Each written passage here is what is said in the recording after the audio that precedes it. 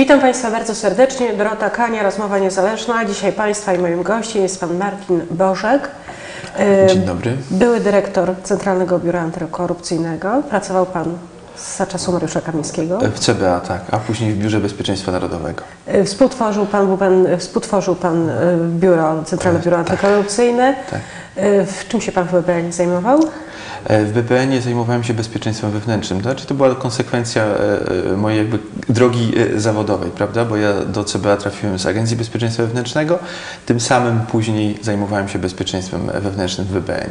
Chciał, tak. Czy chciałby Pan, żeby Pana kolegą w Komisji do Spraw Służb Specjalnych w ławie doradców był Marek Dukaczewski? Przyznam, że zaskoczyła mnie w ogóle ta nominacja.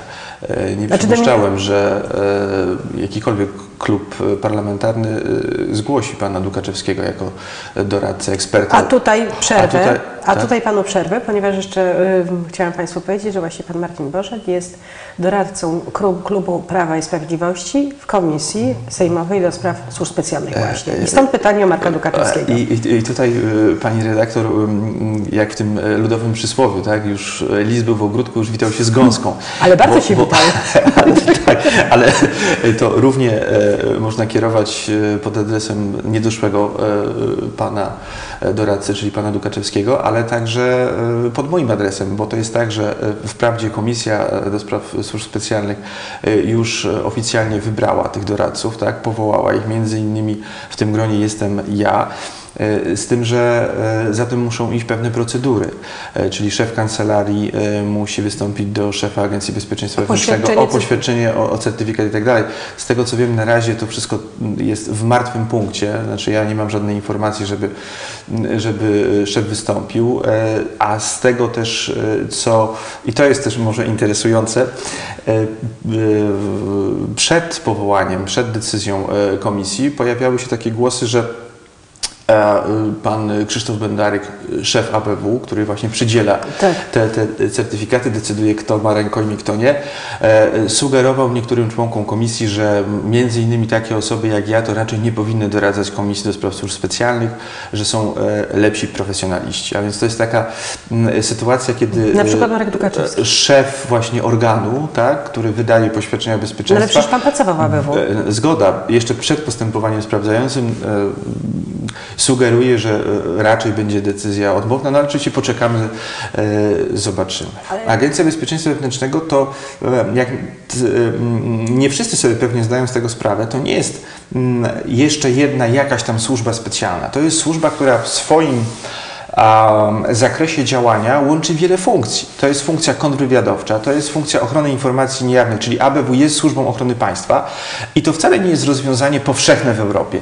E, Jest tak e, w Europie, że i na świecie, że służba ochrony państwa jest oddzielnym bytem od służby specjalnej. Ja prawda? rozumiem, ale, ale ja, ja mam jeszcze jedno pytanie. Dlatego, Służba że jeżeli... Mhm. antyterrorystyczna, prawda? To jest kolejna funkcja, więc, więc to jest bardzo duża e, służba skupiająca wiele funkcji państwa w jednym ręku. I teraz ta Ale służba... ty, ja mam jeszcze właśnie pytanie momencik, bo jeżeli ABW przejdzie pod y, MSW, Tak. to rozumiem, że to będzie na zasadzie podległości. Podległości. I w tym momencie minister spraw wewnętrznych Tak.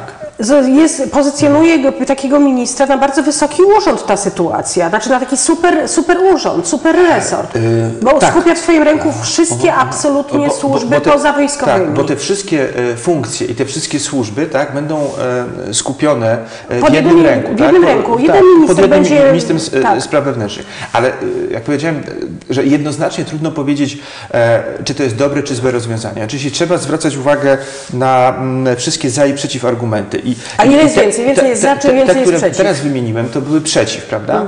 Natomiast, że to będzie właśnie super urząd, tak jak pani dyrektor powiedziała, który będzie zajmował się mm, e, wszystkim, czyli e, że mm, ta istota i ten cel tej reformy podziału MSWiA tak naprawdę nie zostanie osiągnięty. Mało tego, wrócimy jeszcze do rozwiązań sprzed 10 lat. Nawet, nawet, Więcej. Na, nawet, nawet, nawet więcej, prawda? Natomiast y, jakie argumenty są za? Obecne rozwiązania y, niestety do końca się nie sprawdziły. To Dlaczego znaczy, się nie sprawdziły? Z jednego powodu. Prezes Rady Ministrów i to jest stała tendencja od 96 roku. Jest e, em, szefem e, rządu. E, Tak na dobrą sprawę, jak nigdy wcześniej można powiedzieć, że gabinet, czyli Rada Ministrów jest panem kraju, a panem gabinetu jest Premier. jest premier po prostu. Jego władza organizacyjna od 96 roku, zresztą tak, takie były założenia reformy ustrojowej i tak ta pozycja premiera zostawiła, została ustawiona e, w Konstytucji 97 roku, prawda? Więc e, premier e, zwyczajnie mówiąc, kolokwialnie, z uwagi na swoje obowiązki codzienne, wynikające właśnie z tego szefowania rządowi, wyznaczania polityki, kierunków polityki, odpowiadania za wykonywanie tych kierunków polityki nie tylko przez Radę Ministrów jako, jako ciało kolegialne, ale poszczególnych także ministrów, bo też takie uprawnienia ma prezes Rady Ministrów, nie jest w stanie na bieżąco skutecznie nadzorować em, co to znaczy? Nadzorować, czyli programować i kontrolować, rozliczać tak, służby specjalne. Ale w tej chwili nie mamy. Dlatego- ko- momencik, dla- tak, bo w tej chwili nie mamy funkcji ministra koordynatora. Y, Zgoda. Właśnie, dlatego y, wydaje się, że trzeba poszukiwać w tym obszarze jakichś rozwiązań. To znaczy, y, dobrym y, rozwiązaniem byłoby mm, takie, w którym e, jakiś członek, ale konstytucyjny członek Rady Ministrów, tak, wziąłby na siebie tą odpowiedzialność polityczną, także przed parlamentem, czyli przed przedstawicielami społeczeństwa, odpowiedzialność za działalność służb e, cywilnych specjalnych. Czyli było, w tym wracamy do tego, co już wcześniej rozmawialiśmy, że powinien być, powinna być osoba, która nadzoruje te służby i ta funkcja ministra koordynatora była najlepsza, ona się sprawdziła W przecież. latach e, 96-2007 Ta funkcja się sprawdzała. e, Był minister z koordynator. krótkimi w- e, przerwami zawsze był e, konstytucyjny minister koordynator służb specjalnych, który w imieniu premiera na bieżąco kontrolował służby specjalne. No bo- no bo to się zmieniło tak. dopiero w 2007 roku.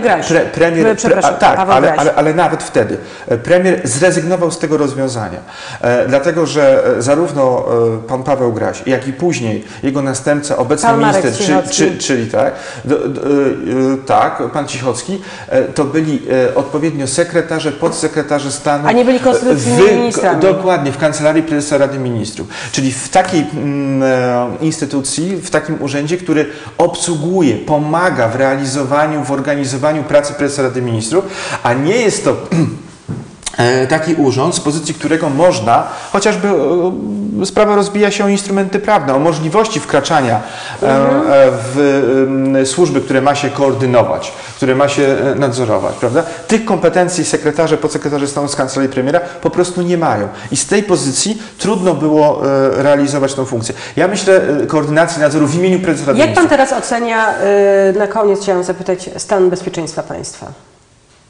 W tej chwili. To jest bardzo trudne, złożone pytanie, prawda? Bo, bo, bo e, stan bezpieczeństwa państwa to jest wiele, wiele aspektów. Ja, ja pytam Natomiast- oczywiście z pozycji tej, co się stało ostatnio. Akta. Atak. E, Z, z, tej pozycji e, no, za to odpowiada Agencja Bezpieczeństwa We- Wewnętrznego między innymi, prawda? Cyberterroryzm, terroryzm i tak dalej. Tak, ale to oni- ale oni sobie z stronę tym- zablokowaną. To ona powinna sobie, sobie z, z, z tym radzić. Może właśnie z uwagi na to, o czym wspominałem, że za dużo kompetencji, za dużo funkcji w jednym ręku i, i, i, stąd y, te problemy. No więc w- y, jak Pani podaje mi ten przykład, no to odpowiedź y, rodzi się sama, prawda? Jest Nie radzi, jakiś- jest źle. je- je- je- je- jest źle. Też y, ze, patrząc ze swojego e, podwórka, czyli y, y, z pozycji byłego funkcjonariusza CBA, no przecież zwalczanie korupcji tak, i nadużyć na tym styku władza mm, e, gospodarka, tak, to też jest aspekt, ważny aspekt bezpieczeństwa państwa. Więc w tym, w tym aspekcie e, no, też nie jest, e, nie jest, mówiąc delikatnie, na, najlepiej. No ale może te rozwiązania, które proponuje minister e, Cichocki, może ta e, mm, e, reforma, no, pytanie, jaka ona przybierze ostateczny kształt, może e, naprawi tę sytuację. Dziękuję bardzo w takim razie za rozmowę. Dziękuję bardzo, dziękuję Państwu, do widzenia. Do